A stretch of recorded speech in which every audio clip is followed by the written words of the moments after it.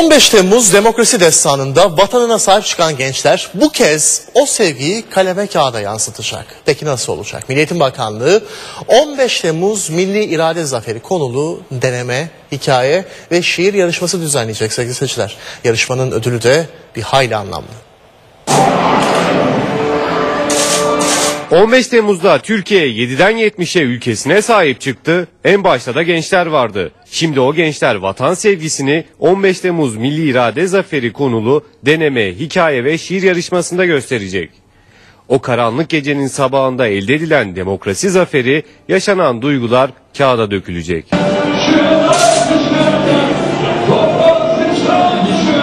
Milli Eğitim Bakanlığı, Türkiye Dil ve Edebiyat Derneği ve Türk Dil Kurumu işbirliği ile 15 Temmuz yarışması düzenlenecek. 15 Temmuz Demokrasi Zaferi lise öğrencilerinin kaleminden anlatılacak. Her öğrenci deneme, şiir ve hikaye dalından sadece birinde eser yazabilecek. İlçe değerlendirme komisyonları 10 eseri il komisyonlarına iletecek. 100 puan üzerinden 75 ve üzeri alan eserler üst komisyona gönderilecek. Eserleri aralarında öğretim üyelerinin de bulunduğu seçici kurul değerlendirecek. Yarışma için eserler 28 Şubat 12 Mart tarihleri arasında toplanacak. Ödül töreni ise Temmuz ayında Cumhurbaşkanlığı Külliyesi'nde düzenlenecek.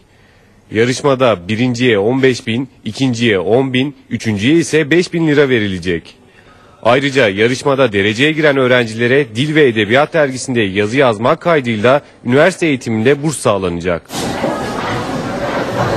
Yarışmanın asıl ödülü de bir hayli anlamlı. Deneme, şiir ve hikaye alanında duygularını en iyi kaleme döken öğrenciler 15 Temmuz'da Türkiye'ye vatanına sahip çıkma çağrısında bulunan Cumhurbaşkanı Recep Tayyip Erdoğan ile yurt dışı gezisine katılacak.